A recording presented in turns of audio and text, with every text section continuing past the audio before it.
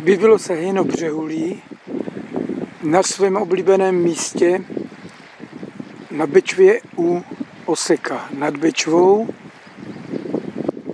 Tady v těch vymletých březích už právě poletují a zřejmě si hledají vhodné místo k zahnízdění, protože pochopitelně se to všechno během těch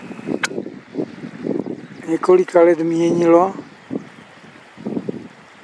přijde nová větší voda, tak to vždycky zebere kus toho břehu.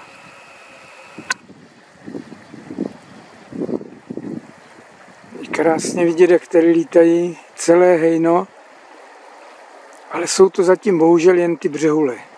Ještě se neukázala zatím jediná vlha pestrá, přestože tady každý rok už koncem dubna bylo vidět, jak se snaží zahnízdit. Tak vlhy pestré zatím nejsou.